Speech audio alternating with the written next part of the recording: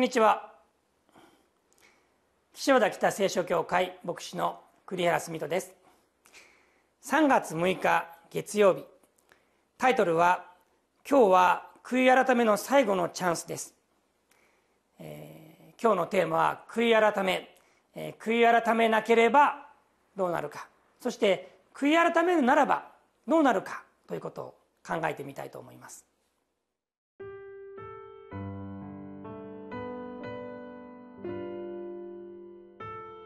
ルカの福音書13章1節から9節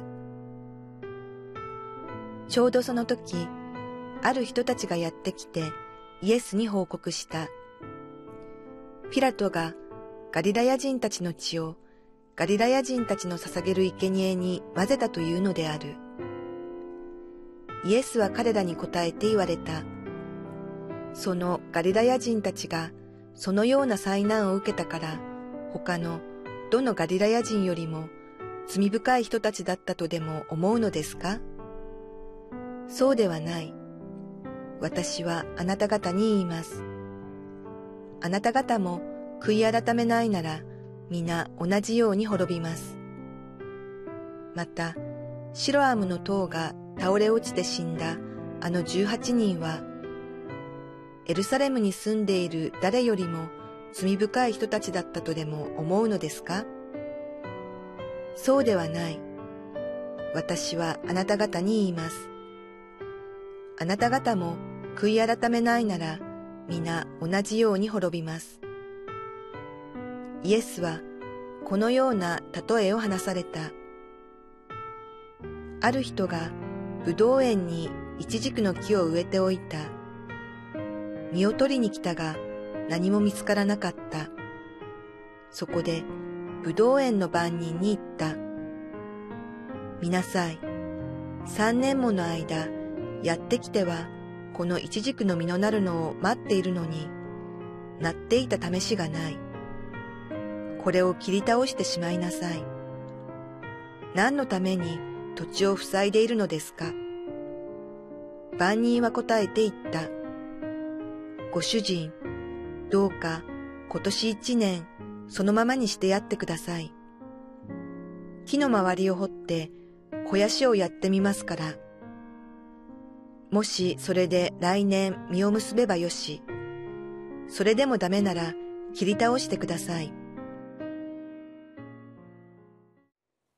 イエスのところにある人たちがやってきたとあります。近頃エルサレムで起きた事件をイエスに伝えているんですね。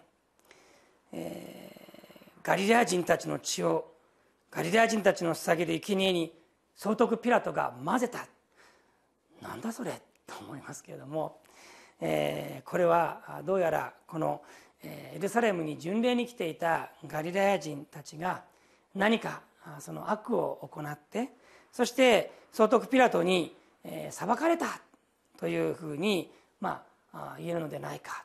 そういうこの事件、えー、こういうことが起こった、えー、これをイエスに伝えるとイエスは言うわけです。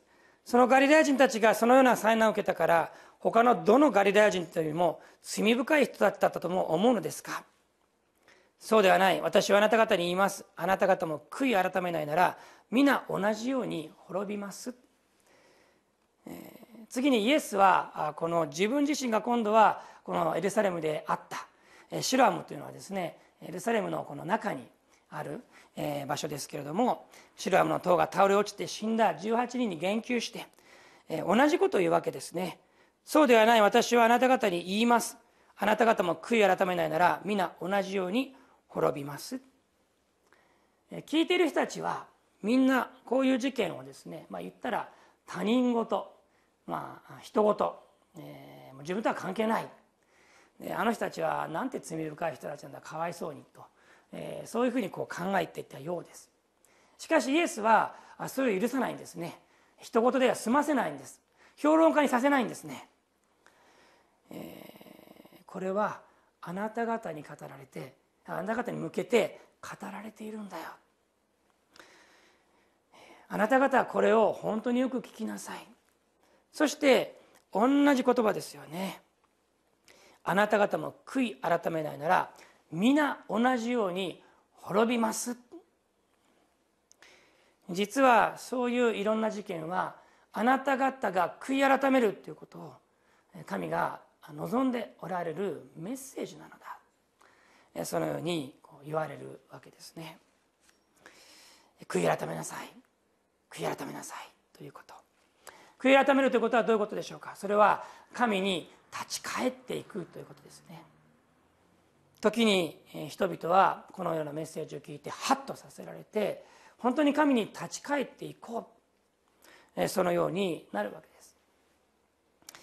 す。しかしこの今日のメッセージでは悔い改めないなら皆同じように滅びますとイエスが言われていますが。では悔い改めるならばどうなるか、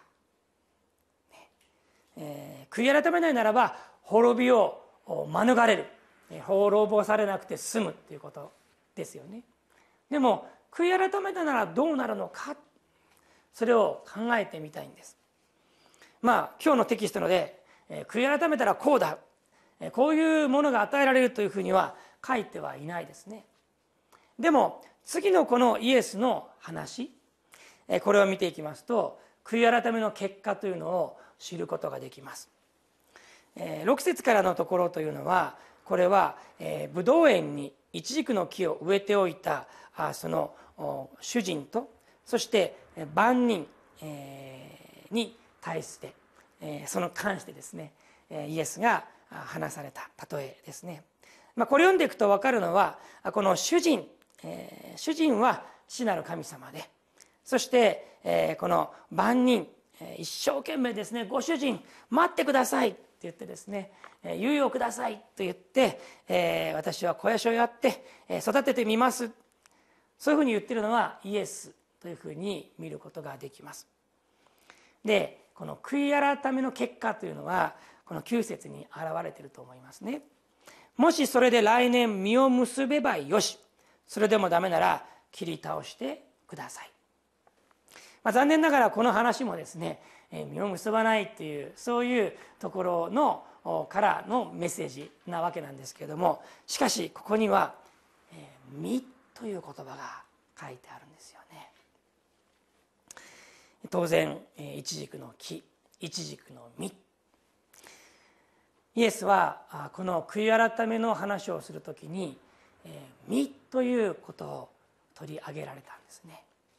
すなわち悔い改めるならば実が結ばれるということ。悔い改めなければ滅びます。でも悔い改めるならばその悔い改めの実が結ばれる。本当に形として恵みが神から与えられるんだ。その実が結ばれるんだ。それを本当に結びたいとイエスは願っておられる。どうでしょうか？悔い改めの実というもの、えー、皆さんにとってどういうものでしょうか、えー、悔い改めの実それは、えー、精霊でありまた精霊の働きであります。悔い改めの実それは御言葉でありそしてその御言葉を悟る心です。私たちが本当に神様に立ち返っていく時にこういう素晴らしい悔い改めの実というのを結ばせていただくことができまたその実を他の人が食べる他の人がその益を受けていくそのような素晴らしいところに神様が導いてくださるということを私たちは覚えたいと思います。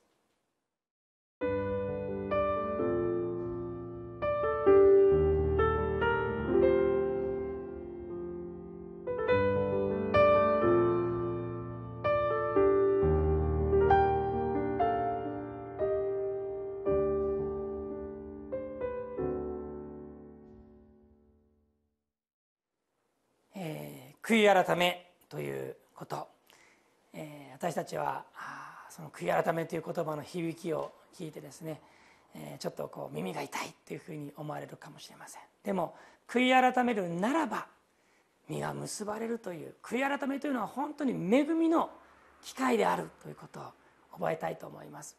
お祈りします。天の地の神様あなたの言葉を感謝します。悔い改めないならば皆同じように滅びますと。イエス様が繰り返し語られたそのことを私たちは本当に心して聞きたいと思います。また悔い改める時に何が起こるか何が与えられるかその身にも私たちは心を止め期待いたします。イエス・キリストの皆によって祈ります。アーメン。